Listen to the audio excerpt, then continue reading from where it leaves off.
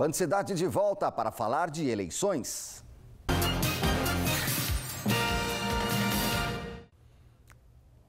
Como já é tradição, a Band sai na frente e dá início à grande cobertura das eleições municipais de 2020. O programa Band Eleições será exibido semanalmente a partir de hoje à meia-noite e seguirá sua cobertura até o final da corrida eleitoral.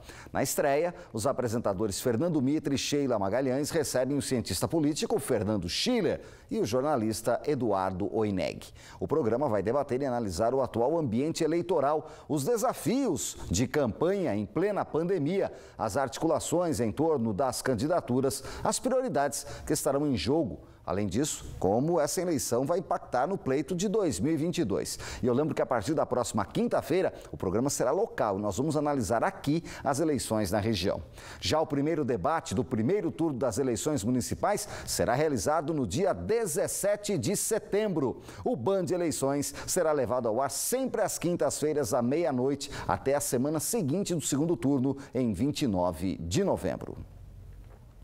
Em Tremembé, um homem foi preso acusado de tentar invadir o Centro de Progressão Penitenciária de Gar Magalhães, Noronha, na madrugada desta quinta-feira. Quem traz detalhes é o Israel Goldenstein. Oi, Israel, boa tarde.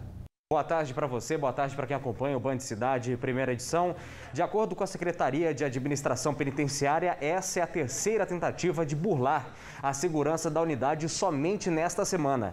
Na madrugada de hoje, um agente de segurança observou uma movimentação suspeita do lado de fora da unidade. O homem com uma mochila nas costas tentava pular o muro da penitenciária. Durante a abordagem, os agentes abriram a mochila do suspeito e encontraram 222 invólucros de maconha e 35 de cocaína.